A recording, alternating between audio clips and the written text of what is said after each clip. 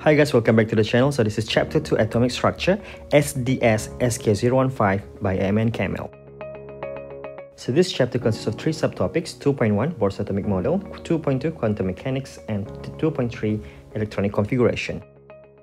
In this particular video, we're going to focus on 2.1 Bohr's atomic model and this is part 1. So at the end of this lesson, students should be able to describe Bohr's atomic model, explain the existence of energy level in an atom, calculate energy of an electron, and then the energy change of an electron during transition, and calculate the photon of energy emitted by electron that produce particular wavelength during transition. And this is again part 1. Okay, jom start dengan Bohr's atomic model. So Bohr's atomic model ni diperkenalkan oleh Niels Bohr, Danish physicist. Okay, dia mana dia ada empat postulat atau empat anggapan dia lah. Yang mana yang pertama ni dia cakap dekat tengah tu ada nukleus. So elektron ni dia cakap sentiasa bergerak, moves in circular orbits around the nucleus. Ini anggapan yang pertama. Okay, postulat yang kedua adalah energy of electron is in each orbit is quantized dia bilang. Maksudnya, energi setiap elektron tu sudah ditentukan, sudah dikira siap-siap. Dikira macam mana? Ada formula dia, okay? Ikut dia punya number shell. N equal to 1, N equal to 2, N equal to 3. N tu adalah shell ya, by the way. Or also called as energy level. So, formula dia adalah En equals to negative RH dalam kurungan 1 over N squared, N kuasa 2 yang mana RH tu adalah Rydberg constant ya nama dia. Ada value dia 2.18 eksponen negatif 18 joule. Jadi contoh kalau n equal to 1 jadi E1 kita ganti di sana ganti masuk nilai 1 over 1 square Ha, jadi nilai E untuk elektron dekat N equal to 1 adalah negative 2.18 eksponen negative 18 joule. Okay? Jadi maksudnya, mana-mana elektron yang berada dekat N equal to 1, energi sudah ditentukan seperti itu. Okay, sekarang, kalau N equal to 2 pula, energi at N equal to 2 adalah E2 lah kan? Jadi kita ganti, kita ganti 2 aja dekat N2 and you should get, lepas tekan calculator, negative 5.45 eksponen negative 19 joule itu itu. Kalau E3, ha, negatif 2.42 eksponen negatif 19 joule. Jadi semua ni adalah energi yang sudah ditentukan untuk setiap energy level tu N itu. Setiap shell ataupun setiap petala itu. Okay? And nilai RH, Rydberg constant tu boleh hafal tapi sebenarnya akan dibagi dalam exam. Huhu. Okay, next postulat yang ketiga adalah electron does not absorb or release energy at ground state. Okay, ground state elektron tu boleh jadi dekat n equal to 1, n equal to 2 atau n equal to 3. Bergantung kepada di mana dia berada sejak azali lagi. Ha, tidak semestinya dekat n equal to 1 ya. Boleh jadi kan equal to 2, equal to 3 ataupun n equal to 4. Bergantung. Cuma mau bagi tahu elektron ni kalau kena bagi energi barulah dia akan absorb energi tu dan dia akan promoted uh, atau perkataan lain dia excited from lower energy level to higher energy level. Dia akan naik lah dia akan naik berapa banyak tu bergantung. Berapa banyak energi yang dia absorb. Ada yang mungkin naik daripada N1 pergi N2 atau N2 pergi N3 atau N1 pergi N3 direct atau N1 pergi N4 bergantung ke sejauh mana dia absorb energi dan sejauh mana dia boleh excited okay? And then, last but not least, postulate number 4 adalah electron at excited state ni tadi, dia unstable. Jadi eventually it will fall back to lower energy level and release energy in the form of photon. Ha, photon tu energi dalam bentuk light, cahaya.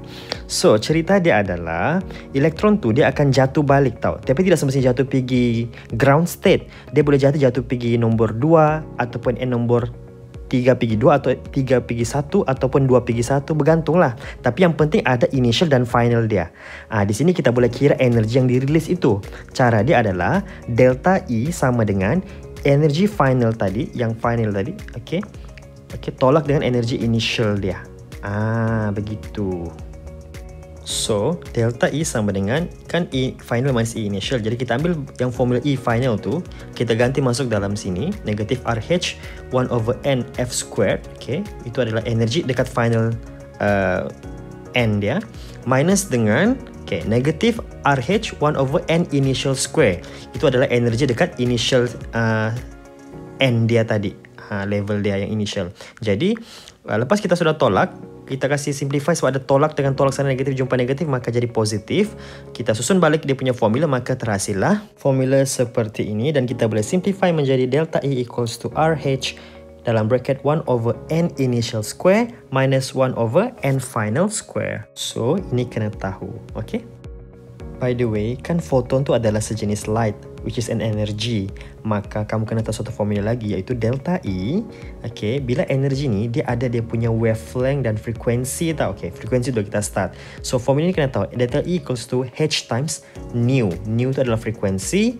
Okay, H adalah Planck constant. Nama pun constant jadi dia punya nilai adalah tetap 6.63 eksponen negatif 34 joule second itu unit dia. Dan ini juga akan dibagi dalam exam. And by the way, light juga ada speed dan juga wavelength. Ada kelajuan dia. Jadi, frekuensi tadi is equals to C, speed of light, divide by lambda. Lambda is uh, wavelength. And speed of light tu dia punya value adalah constant. Kelajuan cahaya sentiasa 3.0 exponent 8 meter per second. So, combining these two formula, delta E is equals to H times C over lambda ataupun simply HC over lambda. So these are the three formulas yang kena ingat juga, okay? Now let's try this question. Calculate the energy of an electron when it was at n equal to 3 and n equal to 4. Maksudnya mau energy at that n. Jadi n equal to 3, energy dia adalah En lah kan, bukan delta n ya bukan delta E ya. En sama dengan negatif RH 1 over N square. So E3 means negatif RH. RH nilai dia constant ganti masuk saja. 1 over N ganti dengan 3. And let the calculator do the job. You should get negative 2.422 exponent negative 19 joule energy. Ha, itu N equal to 3. Kalau N equal to 4, sama juga ganti masuk saja value RH dan juga value N di sana. And you should get negative 1.363 exponent negative 19 joule. Ini adalah energi at that end. Now, let's go to question 2. The energy of the photon emitted when one mole of electron drops from fourth energy level to the third energy level. Jadi, dia punya initial adalah Ni dia adalah 4 and finally adalah 3. Jadi, kita kena tahu ini perubahan energi kan? Jadi, bila elektron bergerak begini, kita kena guna formula delta E. Jadi EF minus E initial. Kita tahu E final dia 3, E initial dia 4. Jadi final minus initial sudah tadi kan energi dia ganti masuk je value yang kita sudah kira tadi and you should get negative 1.06 exponent negative 19 joule. Jangan lupa ya unit dan juga dia punya dia punya simbol tu jangan buang. Okay. Negatif tu menunjukkan energy released. Okay.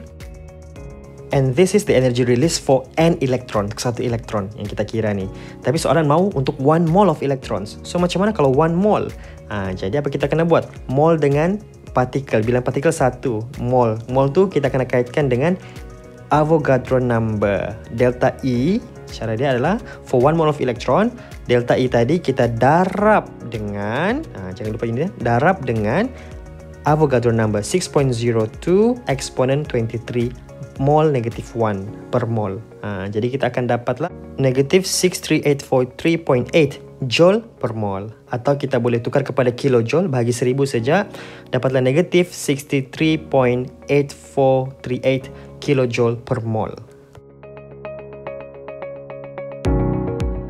By the way, kalau kamu takut terlupa letak negatif ke apa kan, kamu just boleh simply buat ayat keramat ni sebagai final answer kamu. Energy release sama dengan berapa ha, tanpa letak negatif subnilai itu sudah bermaksud negatif alright By the way, tadi kita boleh terus masukkan nilai E3 dengan E4 kan So kita sudah kira dekat question yang pertama tadi kan. Tapi macam mana kalau dia tidak bagi? Ha, Tangan kita mau kira Kita boleh kira satu-satu dulu macam tu Kita masukkan. Atau kita boleh simply guna formula ini Yang tadi kita sudah belajar. Delta E equals to RH 1 over N initial square minus 1 over N final square. Yang mana kita sudah tahu siapa initial kita dan siapa final kita kan.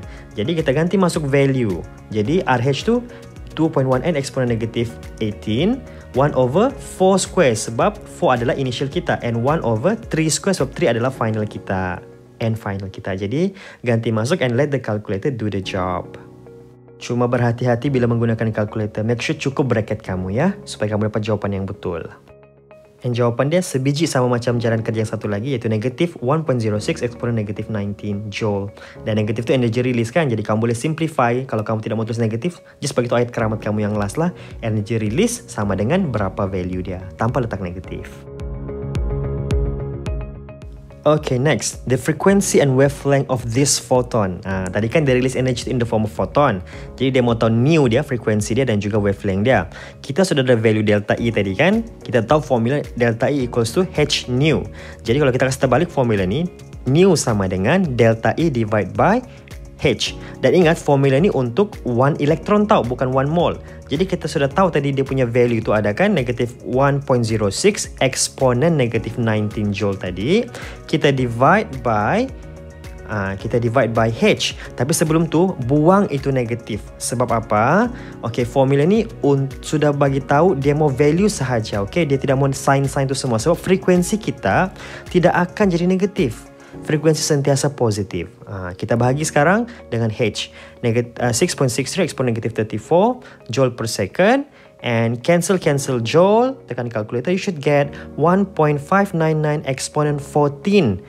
Uh, joule cancel dapatlah S minus 1. Sampai S dibawakan. Ataupun unit lain dia adalah Hertz. Uh, dan ingat, kalau kamu dapat negatif ke frekuensi kamu salah. Uh, jawapan frekuensi mesti positif. Tidak ada frekuensi negatif. So, untuk itu pastikan value energi yang kamu ambil adalah value saja. Jangan ambil dia punya sign. Okay. Now, wavelength pula. Wavelength ataupun lambda. Okay. Kita tahu formula nu equals to C over lambda. Jadi, kita kasih terbalik-terbalik. Lambda sama dengan C over nu. Yang mana C itu sentiasa 3 darab 10 kuasa 8 tadi, meter per second, kelajuan cahaya.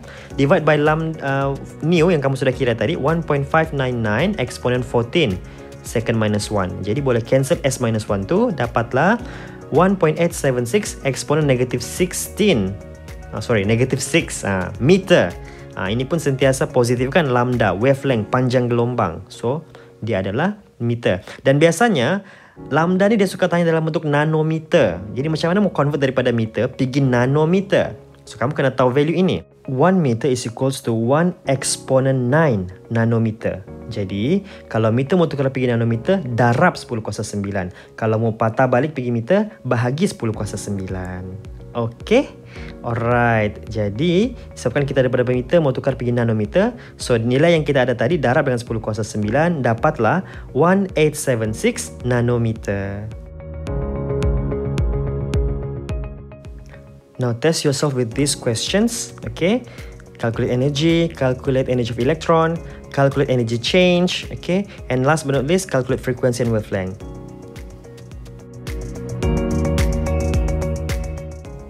So, macam biasa, kalau enjoy video ni, don't forget to like, comment and share the video to your friends. Thank you.